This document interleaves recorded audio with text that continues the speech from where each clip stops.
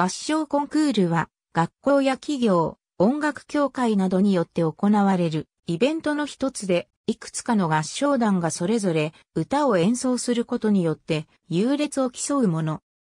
様々な目的で合唱コンクールが行われるが、原則として参加団体がアマチュアのみであるため、楽器奏者や声楽家、作曲家のそれに見られるようなプロとして活躍するための登竜門的存在ではないという点は共通している。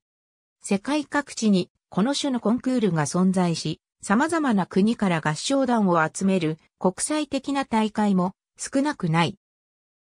ヨーロッパにおいては19世紀にはすでに一般的に行われていた。19世紀初めからドイツ、フランス、スイスなどを中心に合唱運動が巻き起こり、市民の間に合唱が普及していくのだが、その一環として合唱コンクールが取り入れられたのである。日本で合唱コンクールが行われるようになったのは昭和に入ってからである。作曲家で音楽教育者の小松康介が欧米で合唱運動及び合唱コンクールの現状に接し、日本に持ち込もうと尽力した結果、1927年に国民音楽協会が設立され、この協会が主催する第1回合唱共演大音楽祭が行われた。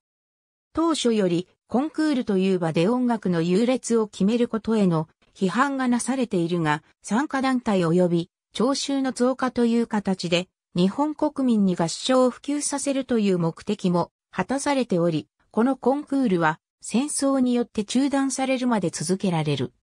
1932年には子供のみを対象にした自動消化コンクールが開催され、幾度かの改名を経て NHK 全国学校音楽コンクールという名前で今日も続けられている。学校によってやり方や合唱のレベルの高さなどは大きく変わってくるが、一般的には各クラスの中で指揮者や伴奏者などを決めるなどして、課題曲と自由曲を歌い歌唱力を競う。練習時間は音楽の授業はもちろん、昼休みや放課後などに実施するということも少なくない。練習は主にカセットテープや CD のほか実際にピアノ伴奏を使って行われるが、学校ごとに設置されるピアノの台数に限りがあるため、同時間帯に練習を行うクラスが複数に及んで使用できなかった場合、代わりにキーボードを使用して練習することもある。NHK 主催のクラス合唱選手権なども行われている。市や郡などを単位としてその地域の小学校や中学校の生徒を集めた合唱コンクールもある。口述のコンクールの予選ではなく、独立した大会で、どちらかといえば競争でなく、交流を目的とするものである。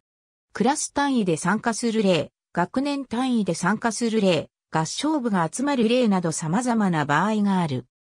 以下は全国規模で催されているものである。ありがとうございます。